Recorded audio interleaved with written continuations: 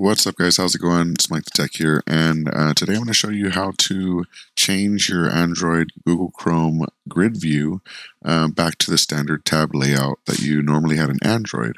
In a recent update, it changed this setting by default for a lot of users to the new grid view, um, but for those who want the original style tab layout, you can use this guide.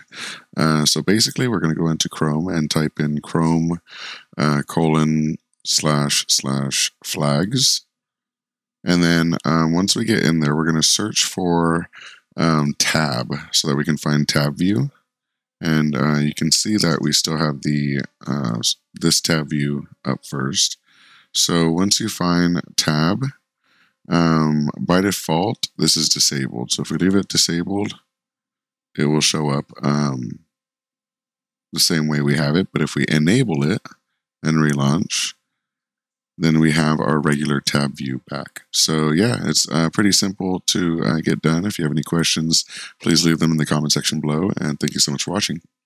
Peace. What? You've never heard of Stream Savers? And you thought PewDiePie was the only YouTuber to make a game?